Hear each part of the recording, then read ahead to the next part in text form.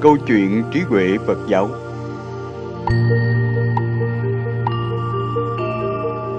Thiện huệ đồng tử thọ ký thành Phật. Ở một kiếp lâu xa trong quá khứ, Có một vị thiện huệ đồng tử Tu hành thanh tịnh, Lập chí thành Phật.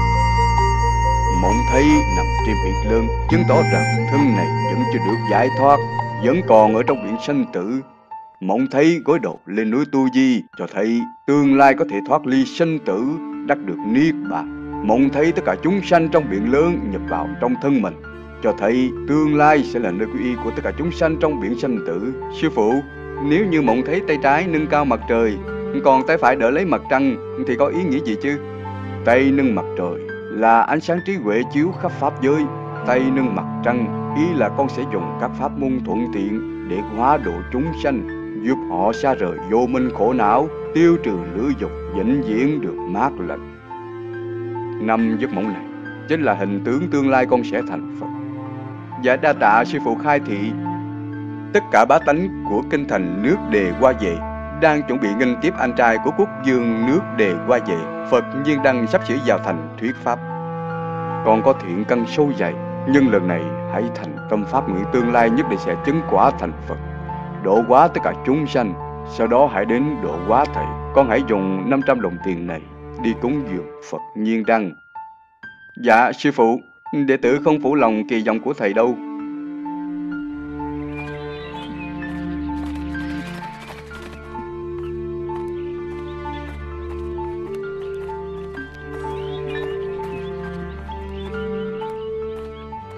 Đại thúc, Tôi muốn mua hoa tươi. Cậu đến trễ rồi. Hoa tươi đều đã bán hết rồi. Ngay cả những đồ dục cúng dường như là vòng hoa sen dầu thơm cũng đều bán hết rồi.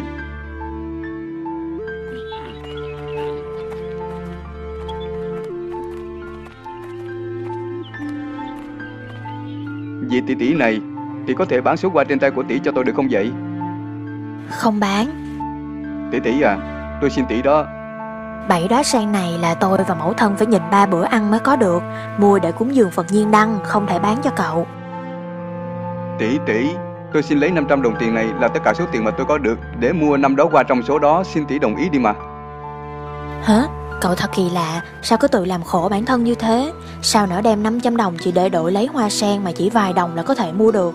Như thế là do nguyên nhân gì? Là vì tôi muốn cầu xin Phật nhiên đăng Muốn thành tựu nhất thiết tổng trí Độ thoát vô lượng chúng sanh. Vậy thì tại sao cứ nhất thiết lựa chọn hoa sen để cúng dường? Trên đời này chỉ có hoa sen là thanh tịnh không bị nhiễm bụi trần Mới có thể biểu đạt được tam luân thế không? Tưởng trưng cho trần đế. Vô tướng bố thí. Được thôi, người thiện lương tôi sẽ bán hoa cho cậu Nhưng mà cậu phải đáp ứng một điều kiện của tôi. Điều kiện gì?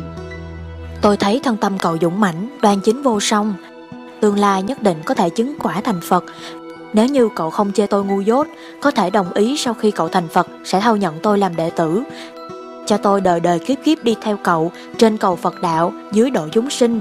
Nếu cậu đồng ý tôi cũng sẽ thực hiện mong muốn của cậu. Nếu không, hoa này tôi sẽ không bán đâu. Mong tỷ đời đời kiếp kiếp dung trùng thiện căn Cùng nhau hướng đến đại đạo Bồ Đề.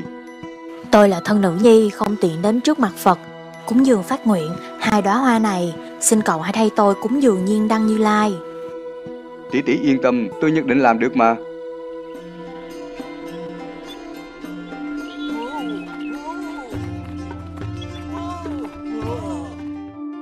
Phật nhân đang đến rồi.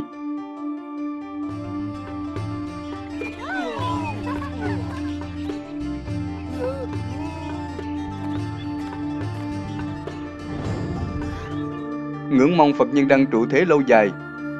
Vì chúng sanh chuyển diệu Pháp Luân, Ngưỡng mong Phật nhân đăng thương xót thiện huệ đồng tử con. Nhận lấy bảy đó qua này, Nguyện tương lai sẽ chứng đắc thành Phật quả. Giống như Phật nhiên đăng, Độ thoát vô lượng vô biên chúng sanh, Đầy đủ đại nguyện thành Phật của chúng sanh.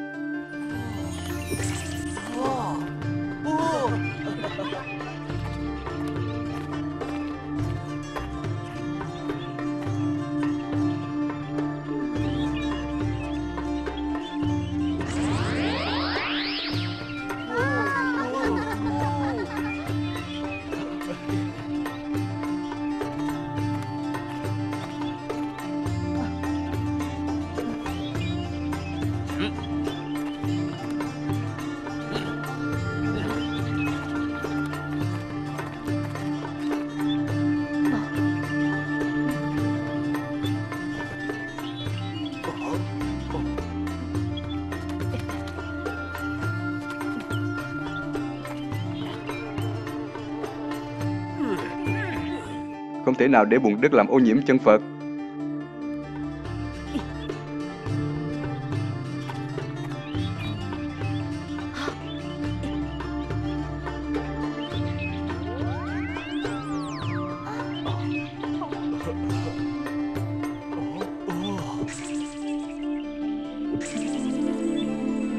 Lành thay, lành thay, thiện nam tử Trong kiếp thứ 91 sau này Ngươi sẽ thành Phật Ở Phật Đà Xin Ngài hãy thọ ký cho đệ tử Đợi đến khi đồng tử này thành Phật Hắn sẽ thọ ký cho ngươi thành Phật